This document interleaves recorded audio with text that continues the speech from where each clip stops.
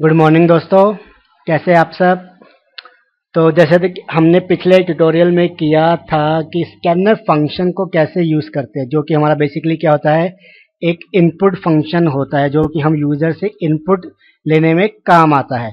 तो आज देखेंगे कि हम क्या, एक, कैसे हम एक डेटा टाइप का साइज़ निकालें, क्योंकि एक डेटा टाइप का साइज़ निकालने का मतलब है कि कितना स्टोरेज मतलब वो मेमोरी के अंदर का स्टोरेज साइज़ है, कितना उसका स्टोरेज साइज़ है बेसिकली जैसे कि हम कहते हैं कि इंटीजर का स्टोरेज साइज़ क्या है? दो बाइट तो आज हम देखेंगे कि उसका स्टोरेज साइज़ क्या है। अब बात आती है कि देखिए प्रोग्राम बनाना है क्या? कि साइज़ निकालना है स्टोरेज साइज़ निकालना है हमें एक डेटा टाइप का। तो जैसा कि देखिए कि पहले तो मैंने अपनी हेडर फाइल्स इंक्लूड कर ली, जो हम बेसिकली यूज़ करते हैं। अब सी लैंग्वेज के अंदर एक फ़ंक्शन होता है, एक इनबिल्ड फ़ंक्शन होता है साइज़ ऑफ़ के नाम से। ये देखिए किस काम आता है, वो इसी काम आता है कि जो स्टोरेज साइज़ निकालना है किसी डेटा टाइप का तो उसको हम इस फ़ंक्शन के हेल्प से यूज़ करते हैं और इसे निकाल के देते हैं। तो देखिए हमारी इसकी एक हेडर फ़ाइल होती है, पहले हमें वो इंक्लूड करवानी होती है, जिसका नाम होता है लिमिट्स डॉट एच ये हेडर फ़ाइल आपको इंक्लूड करानी पड़ेगी, दोस्तों, तभी आप इसे कर पाएँगे। अब मैं अपना मेन फ़ंक्शन जो होता है, मैं बना रहा हूँ, उसके अंदर मैं लिखूँगा सब कुछ अपना। अब बात रही, देखिए दोस्तों, कि कैसे हमें इसे यूज़ करना है। पहली बात मैं आपको ये बता दूँ कि हमारे पास चार टाइप के डेटा टाइप्स होते हैं बेसिकली जो कि आप शायद जानते भी होंगे अगर मुझे थ्योरेटिकल आपने पढ़ा होगा तो उसमें आपको पता चल जाएगा। देखिए, पहला होता है, देखिए मैं यहीं पे लिख देता हूँ। पहला होता है हमारे पास दोस्तों बेसिक डेटा टाइप जिसके अंदर हम बेसिकली इंटीजर फ्लॉट कैर और हमारा एक होता है डबल ठीक है? इसके बाद होता है दोस्तों, अगर हम कहें तो सेकंड है हमारा इनम कह सकते हैं हम, या एनुमरेशन इसका पूरा नाम होता है एनुमरेशन डेटा टाइप ठीक है दोस्तों? जिसका कीवर्ड हम यूज़ करते हैं इनम इनम की हेल्प से यूज़ होगा। ये क्या होता है? जब हमारे ट्यूटोरियल्स अब हम आगे बढ़ेंगे, तब आपको बता दूँगा। क्योंकि अगर अभी आपको बताया तो आप बहुत ज़्यादा कंफ्यूज हो जाएँगे। क्योंकि मैंने पहले ही कहा था कि जब हम ए बी सी पढ़ रहे हैं और किसी को हम सीधा जेड बता दें तो दिक्कत रहती ही रहती है। तो मैं वो नहीं चाहता कि आप ये भी भूल जाए या इससे प्रॉब्लम होने लगे जो हम बेसिक कर रहे हैं। उनमें कन्फ्यूज़न ना हो। ड्राइव्ड हमारे होते pointer array structure and union ठीक है दोस्तों? एक होता है हमारा वाइड डेटा टाइप ये हमारा होता है फोर्थ हम मान लेते हैं। ठीक है?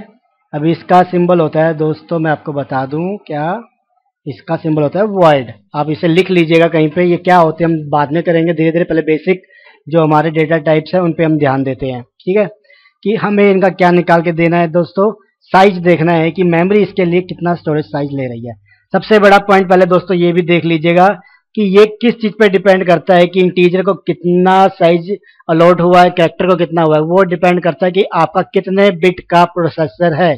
अगर आपका 16 बिट का प्रोसेसर है तो उसके लिए अलग वैल्यू हो सकती है। अगर आपका 64 बिट का है तो उसके लिए अलग हो सकती है। मैं ये नहीं कह रहा कि अलग होगी, हो सकती है अलग, क्योंकि डिपेंड करता है उसका आर्किटेक्चर क्या है, कैसे से बनाया गया है सिस्टम को। तो बट का समवेयर कहीं ना कहीं हल्का फुल्का डिफरेंस मिल ही जाता है। तो चलिए मैं प्रोग्राम में आगे बढ़ता हूँ। पहले देखिए मैंने लिया एक इंटीजर लिया जिसमें मैंने एक वेरिएबल का नाम दिया, उसको ए फिर मैंने करेक्टर लिया जिसको मैंने सी एच नाम दे दिया वेरिएबल का, फिर मैंने फ्लॉट लिया दोस्तों। फ्लॉट में मैंने देख लिया एफ़ एल लिख दिया, उसके बाद मैंने डबल डेटा टाइप जिसको मैंने डी ओ यू ले लिया। ठीक है दोस्तों? अब आता है आता है कि मैंने प्रिंट एफ़ करवाता हूँ। प्रिंट एफ़ में मतलब मैं इनका साइज़ लूँगा। सिस्टम को कह रहा हूँ कि आप मुझे प्लीज़ इनका साइज़ बताइए। तो पहले जो स्क्रीन आएगी देखिए मैंने स्क्रीन पर शो करवा लिया कि storage size of INT data type बताइए मुझे क्या है? ठीक है? और देखिए वैल्यू हमें किस चीज़ में चाहिए? एक इंटीजर वैल्यू में चाहिए दोस्तों। तो मैं क्या कहूँगा? एम्पेसेंट डी लगाऊँगा। ठीक है दोस्तों? यहाँ पे मैं ये नहीं होगा कि करेक्टर यूज़ कर रहा हूँ तो इसके लिए सी लगाऊँ। यहाँ पे एम्पेसेंट डी क्योंकि मुझे वैल्यू किसमें चाहिए? मुझे इंटीजर के अंदर वो वैल्यू चाहिए। इंटीजर फॉर्मेट में वैल्यू चाहिए। अब मैं उस फ़ंक्शन का नाम लिखूँगा जिसकी हेल्प से हमें ये पता चलेगा कि इसका साइज़ क्या है। देखिए फ़ंक्शन का नाम है साइज़ ऑफ़ ठीक है दोस्तों? अब इस फ़ंक्शन के अंदर मैंने क्या डाल दिया? ए तो ये मतलब ए किस लिए डाला है? ताकि साइज़ ऑफ़ जो फ़ंक्शन यूज़ हो रहा होगा कंपाइलर को यूज़ करना होगा, तब उसको पता चलेगा कि हाँ भाई, इसके अंदर तो कोई कोई ना कोई वेरिएबल या डेटा टाइप आना चाहिए, क्योंकि किसका हमें साइज़ ऑफ़ मतलब किसका स्टोरेज साइज़ बताना है। यहाँ पे मैंने क्या डाला? ए भाई, मुझे बताओ ए का स्टोरेज साइज़ क्या है? अब देखिए, मैं गेट सी एच यूज़ करता हूँ पहले, और मैं यहाँ पे लिख दूँगा रिटर्न ज़ीरो ठीक है दोस्तों?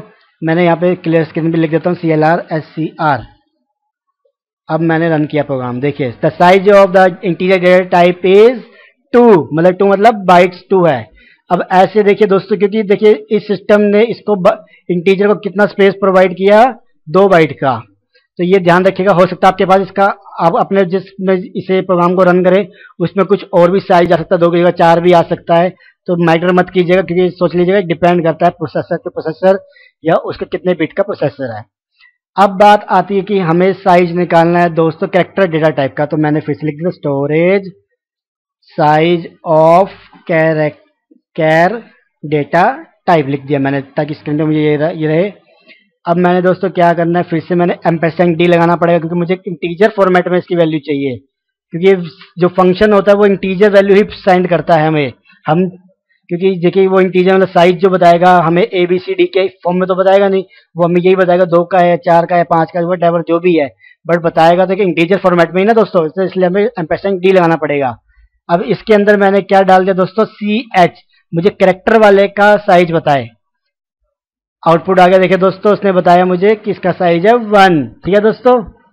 अब देखिए यहाँ पे कोमा आ गया था क्योंकि मैंने इसके आगे ये लगा दिया था गलती से। अब आता है देखिए। अब किसका साइज़ निकालना है दोस्तों? हमें निकालना है फ्लोट का। तो फिर से हम लिख लेंगे प्रिंट एफ़ उसके अंदर हम कहेंगे, भैया विलो पास हो गया हमारा। तब तक मैं टाइप कर रहा हूँ दोस्तों, मैं आपको ये बता देता हूँ कि प्लीज़ रिक्वेस्ट कर रहा हूँ, आप मुझे जो भी किसी के पास प्रीवियस ईयर के आईटी के पेपर्स हो तो प्लीज़ मुझे सेंड करिए, क्योंकि मुझे, मैं एक सीरीज़ बनाना चाहता हूँ, जिसमें हम वो पेपर डिस्कस करेंगे एग्ज़ाम एग्जामिनेशन के पॉइंट ऑफ़ व्यू से, कि कौन कौन से टॉपिक्स आए हुए हैं और कितने इंपॉर्टेंट है वो, ठीक है? कितने मार्क्स में हमें क्या क्या चीज़ें कवर करनी चाहिए। तो प्लीज़ जिसके पास हो, मुझे सेंड करें, मुझे सीएससी के तो कुछ मिले हैं बट आईटी के बेसिकली नहीं मिल पा रहे।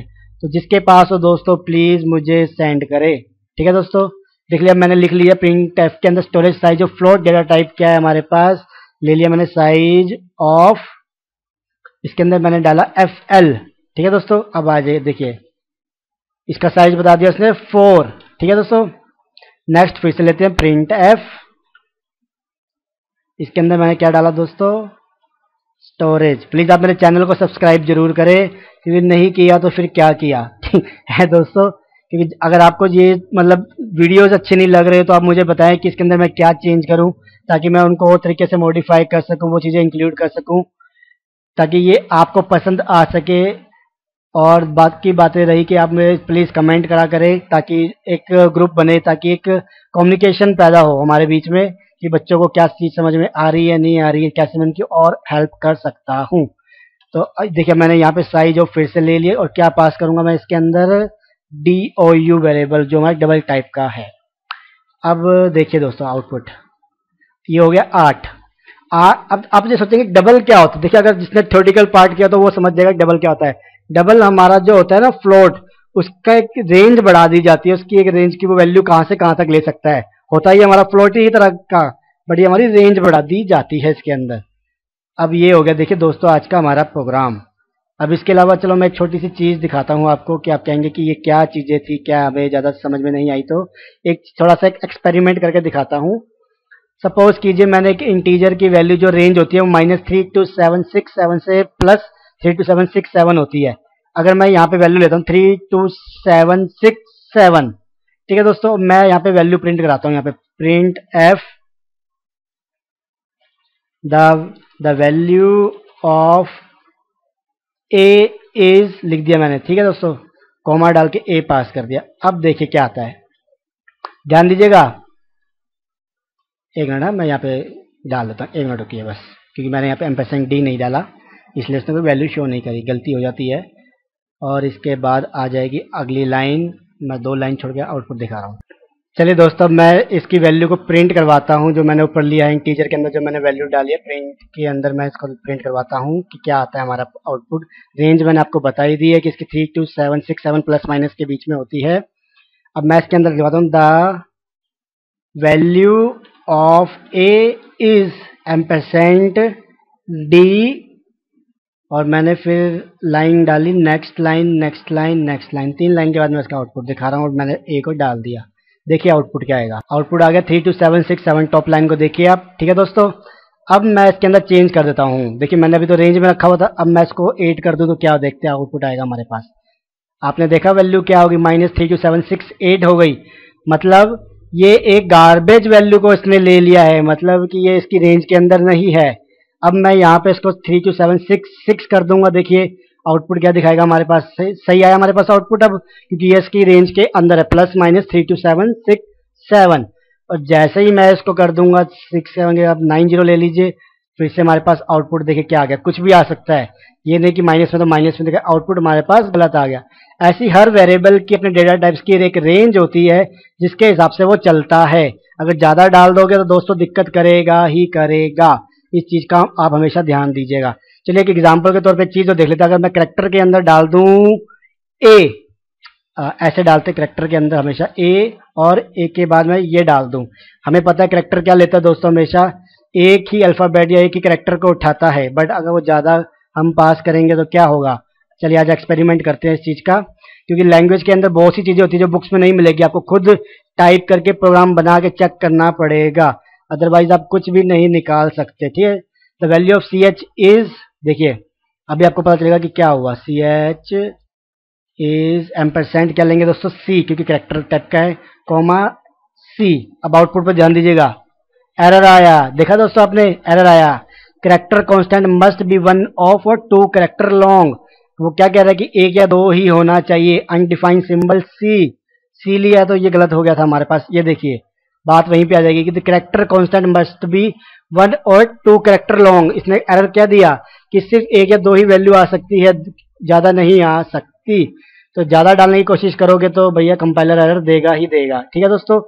अब बात आती है कि हमारे पास जो हमारा प्रोग्राम है, एक मिनट रुक जाइए। हाँ ये आ गए हम अपने प्रोग्राम पे। अब देखते हैं कि कैसे इसे आगे और करेंगे हम। इसके अलावा हम और भी चीज़ें डाल सकते हैं। चलिए नेक्स्ट प्रोग्राम में नेक्स्ट ट्यूटोरियल में करेंगे, क्योंकि प्रोग्राम थोड़ा सा ज़्यादा बड़ा होता जा रहा है। आप देखिए पिछले ट्यूटोरियल में हमने क्या देखा था कि स्कैन का यूज़ आज हमने देखा साइज़ ऑफ़ का यूज़